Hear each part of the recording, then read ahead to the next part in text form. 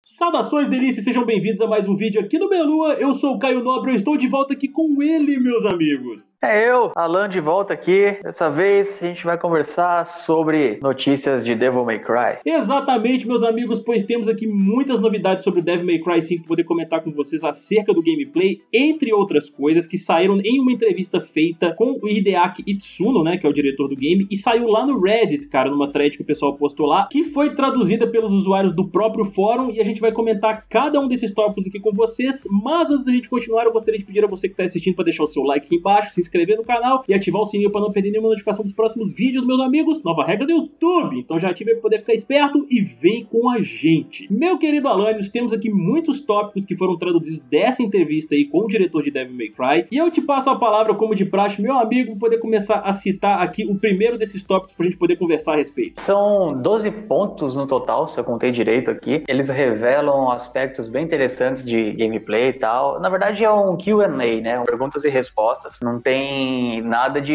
spoiler de data mining ou coisa assim. E o primeiro tópico ele comenta de um aspecto de gameplay do V, que triângulo controla o Shadow, o quadrado o Griffon e o Nightmare ele é submonado, ele é invocado pelo L1. Então, usuários de Xbox troquem triângulo por Y, quadrado por X e L1 por LB. Além disso, né, falando do Nightmare que você comentou aí agora, agora, é dito aqui que ele vai ter aparentemente 3,5 metros de altura. A gente viu lá no trailer realmente que ele é um bichão bem grande, né, cara? Que eles especificaram mais ou menos qual que seria a altura dele, a gente vê ali em game, né? No demo, aquele boss que a gente enfrenta na demo que a gente joga com o Nero, ele é do tamanho do Nightmare, né? Dá pra ter uma noção ali que é gigante, cara. E aqui ele fala que, de acordo com o artigo, né, o terceiro tópico, a parte do single player que a gente viu até agora, que foi compartilhado, que tem o Nero e o Vi, ele diz respeito às missões 3 e 4. Se a gente for pegar os trailers, as partes de gameplay e tudo mais, é bem o começo do jogo. Tem muita coisa para rolar ali ainda. Exatamente, cara. E essa parte do gameplay compartilhado que a gente viu aí de dois personagens, que já foi dito que terá um co-op, né? Só que tem algumas informações que a gente ainda não sabe se é oficial, mas diz respeito a serem algumas missões específicas, entendeu? Parece que não serão todas que irão possibilitar o gameplay compartilhado aí. Então a gente vai ter que esperar mesmo para poder ter uma confirmação. O que seria um tanto estranho, né? Se o jogo vai ter co-op, você colocar apenas algumas missões compartilhadas, ia ser um tanto estranho, né? Eu acho que é meio bizarro pensar nisso, ainda mais que eles estão querendo fazer um multiplayer tipo Dark Souls, que o cara entra no meio da partida ali quando você tá jogando. Então, você tá jogando online, o cara vai lá e bum, aparece na partida com você. Pensando desse jeito, não sei se ficaria tão zoado assim, porque você tá jogando a sua campanha normal e aí um outro player aparece no momento oportuno ali. Mas seria bem mais legal se você pudesse começar o jogo com os seus amigos e ir jogando, entendeu? Até o final. Isso é muito melhor, é bem mais divertido. O tópico seguinte aqui, cara, diz respeito a uma dúvida que os fãs têm levantado aí desde o anúncio de Devil May Cry 5, porque foi dito que ele se passa depois de Devil May Cry 2, né? Que é dito aí na cronologia ser o último game da série. E nesse QA que rolou aí, foi dito em um desses tópicos aqui que a razão de ele se passar após o Devil May Cry 2 vai ser explicado no Devil May Cry 5. Isso aí é muito interessante, obviamente, poder esclarecer essa questão para todo mundo, né? Ele fala que vai ser esclarecido durante a história, no decorrer do jogo. Foi uma estratégia muito interessante de falar pro cara, então, não pergunta. E uma outra informação bem interessante aqui, cara, foi dito que com base nos testes internos, né, no Quality Assurance que o jogo tem lá para o pessoal encontrar bugs e tudo mais, que eles fizeram até o final, obviamente, para poder testar todos os aspectos do jogo, missões e tudo mais, foi contabilizado que ele terá por volta de 15 a 16 horas, cara, para poder ser completado aí. O que é um tempo bom, levando em consideração o estilo de gameplay que o Devil May Cry é e o seu storyline ele também, entendeu? Além de que serão três campanhas aí pra gente poder acompanhar, né? Como já foi dito anteriormente, a gente vai passar pelo Nero, a gente vai passar pelo Vi e pelo Dante também. 15 horas, três campanhas, dá uma média de 5 horas para cada campanha. 5 horas jogando com cada personagem é um tempo legal, dá para você aproveitar um pouco ali, mas precisa ver se esse vai ser o total ou se vai ter, ou se tá excluindo as missões paralelas, que provavelmente vai ter. E aí adicionando essas missões paralelas, provavelmente vai estender bem mais. Mas 16 horas é um tempo razoável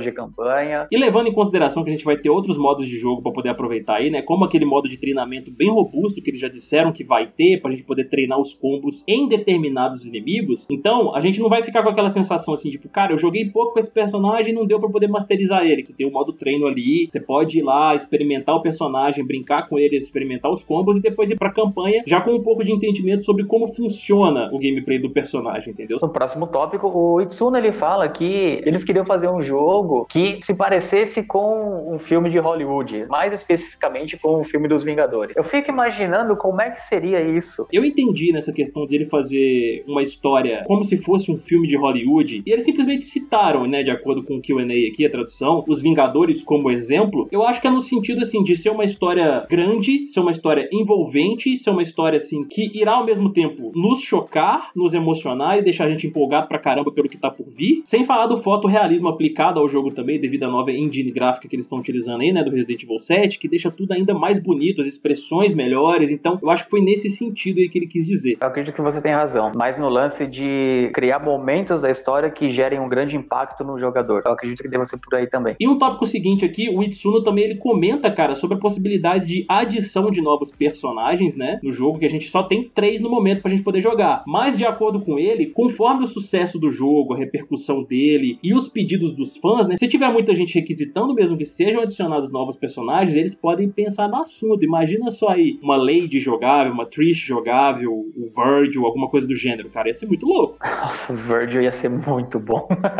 eu sou fanzaço do Virgil. E seria muito interessante, eu não sei, isso aqui eu só tô especulando mesmo, e também é uma opinião particular minha, um desejo meu, que eles lançassem DLCs, se for o intuito deles, com histórias à parte para poder contar de algum desses outros personagens de repente, porque eles fizeram isso lá no DMC, que é o reboot, com uma DLC específica do Virgil, cara, que eu achei muito legal, que foi um pós-história do Dante ali. Sim, eu acho que seria muito interessante eles adicionarem esses conteúdos, trazendo a história do ponto de vista de outros personagens ali, da forma como foi o Virgil Dawn Fox. Tem muita gente que gosta da Lady, tem muita gente que gosta da Trish. Tem personagens que foram pouco explorados, por exemplo, aquela mina do Devil May Cry 2, mina de cabelo vermelho, que eu esqueci o nome dela agora. Então, poder pegar esses personagens aí e trabalhar melhor eles dentro da franquia, dar uma revigorada, uma repaginada, apresentar de uma outra maneira. Eu acho que tudo isso é muito válido, é bem interessante. E, galera, vamos fazer barulho então, tem muita coisa pra gente nisso aí. Exatamente, cara. E os próximos tópicos aqui, eu acho que eles meio que se complementam, que diz que a gente vai poder carregar até 8 Devil Breakers no cinto do Nero ali, né? Que a gente já pôde ver na demo que ele tem até 4. Então a gente deve fazer upgrades e tudo mais poder carregar os 8. E é dito também, meu querido Alanios, que à medida que a dificuldade do jogo aumentar, a quantidade de Devil Breakers que a gente vai encontrar no cenário vai diminuir, meu caro. E eles disseram que isso é para poder encorajar o gerenciamento desses recursos, né? Dos Devil Breakers, no caso, e também o combate estratégico. Quando a gente fez a live de Devil May Cry, eu já tinha reclamado do Devil Breaker.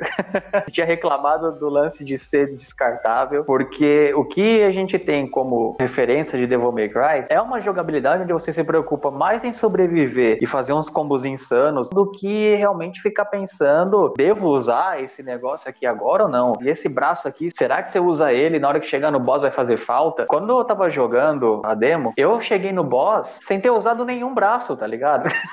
Porque eu fiquei, caramba, e se precisar? Vou ficar guardando, eu vou usar aqui e tal, eu vou ficar guardando. Isso restringe muito, na minha opinião, é algo que acaba minando um pouco o que a gente espera de Devil May Cry. E adicionar essa visão estratégica, ela é legal? Sim, ela é muito legal, mas eu não sei até que ponto ela entra no tom do Devil May Cry. O meu entendimento, assim, eu curti muito essa mecânica dos Devil Breakers e tudo mais, já até tinha comentado anteriormente. Eu acho que isso é só uma dificuldade adicional que eles vão colocar aí no gameplay do Nero, entendeu? Porque assim, a gente tem duas formas que foram reveladas até o momento, pelo menos, entendeu? De como a gente perde esses Devil Breakers, que é quando a gente tá utilizando ele ali no momento e toma uma porrada, a gente perde aquele Devil Breaker específico, ou então a gente pode explodir ele automaticamente, pode apertar acho que o L1, se eu não me engano, a gente vai explode o Devil Breaker do inimigo, e a gente também pode usar aquele ataque especial, que a gente carrega ele, dá um super ataque no inimigo, e aí ele esquenta, né? Ele fica danificado, aí o Nero tem que trocar. Na verdade, são até três formas, eu falei duas aí, né? De você perder o Devil Breaker. Então, ao meu ver, é uma questão de tipo assim: toma cuidado na hora de usar o Devil Breaker. Se você tomar uma porrada quando você estiver usando, você vai perder. Acho que eles vão ficar em cima dessas três, e aí a minha maior reclamação é o lance de que para você trocar, você precisa explodir o negócio. Eu acho que podia só trocar. Eu não tenho nada contra você vai usar, o cara te bate e o negócio estoura. Eu não tenho nada contra você usar aquele especial fodão lá, o negócio explodir. Dá para entender. Agora, por que, que tem que explodir o negócio para trocar de braço, entendeu? Para mim não faz sentido. Isso aí realmente não faz muito sentido mesmo, não, cara. O Nero é um cara inteligente, entendeu? Ele não precisaria explodir o braço. Ele poderia simplesmente ir lá no slot lá, né? Ele mesmo pensando como um personagem, né? Como se fosse uma pessoa. Vai ali no cinto dele, tipo, tira o braço, coloca ali, pega outro braço, coloca. É possível? Essa é a ideia.